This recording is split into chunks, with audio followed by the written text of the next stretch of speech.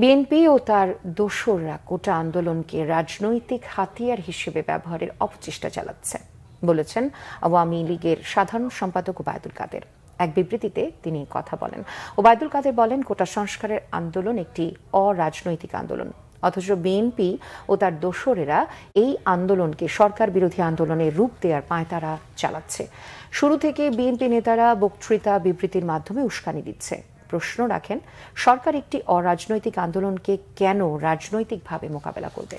জানান কোটা সংস্কারের আন্দোলনকে রাজনৈতিকভাবে মোকাবেলার কোনো ইচ্ছা সরকারের নেই। বিএনপি ও তার দোসরেরা সব আন্দোলনে ব্যর্থ। এখন তারা শিক্ষার্থীদের আন্দোলনের উপর ভর করছে বলে অভিযোগ তার বিষয়টি আদালতে বিচারাধীন। এখানে সরকারের কিছু করার নেই।